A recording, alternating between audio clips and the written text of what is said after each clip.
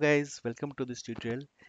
Uh, and this is a part 2 of API automation with Java and Rest Assured. In this section, we'll be discussing very commonly asked questions or like question that comes to our mind when you start you know working or learning API automation or especially APIs. So I'll be covering some of the parts actually here.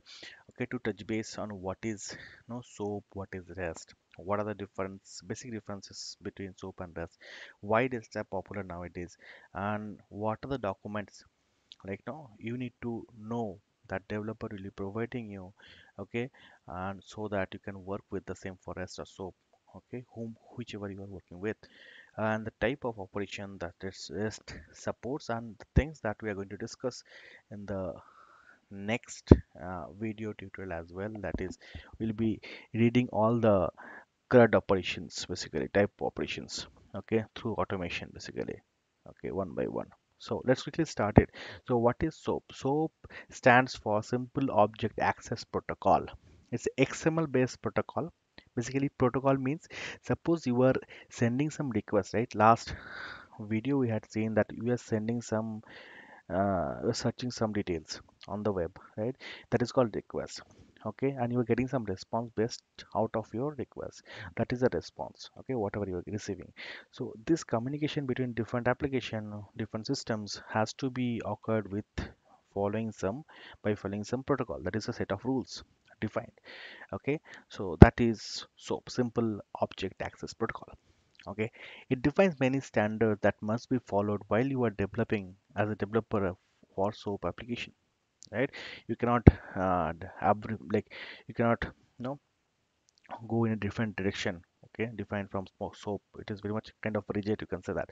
Soap uses a wsdl file web service dynamic. Just web service descriptive languages okay? Wsdl stands for okay? Now it developer provides you this WSDL file okay? And you need to work with the same while working with API for SOAP web services right?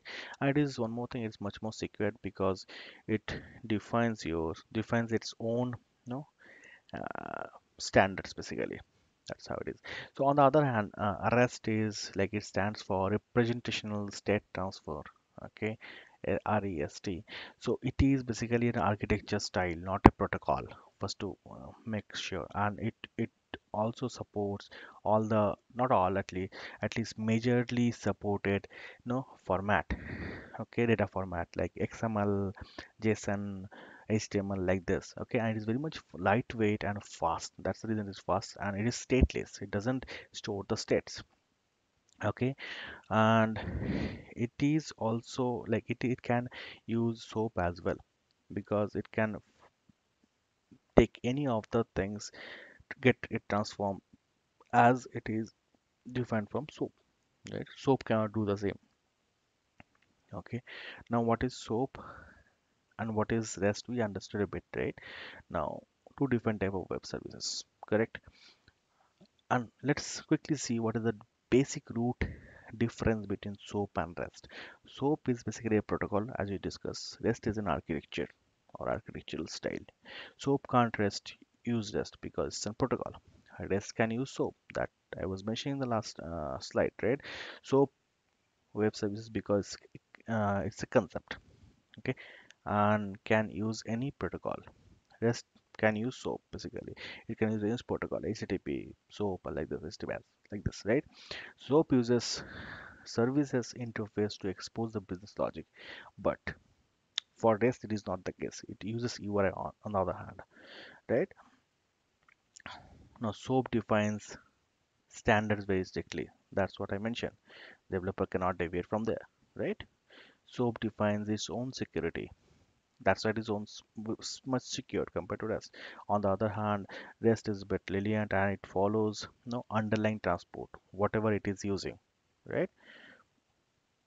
So permit xml and rest is xml is html json like this right? Why is rest are getting uh, preference nowadays or, or why it is much more popular?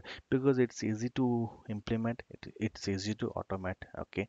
It's easy to know uh, like it's very lightweight so that's why it is very fast. It is stateless. So basically it doesn't keep or no uh, states keep the call no independent basically so that it call can contains its own set of data to perform the same sort of operations. And it's basically you know having the client server uh, the constraint operates on concept that client server has to be separated okay from each other to evolve individually. So it's very much lightweight okay? And it's also you know permits multiple uh, format. Let's say you are expert on xml you are working on X with rest and xml somebody is in json he is working in json so like this right? So there are pretty much more advantages compared to rest but if you're looking for very much secured no well defined well composed not well composed i cannot say to mm, well composed but even secure uh, no uh, web service development part then rest might be a better option.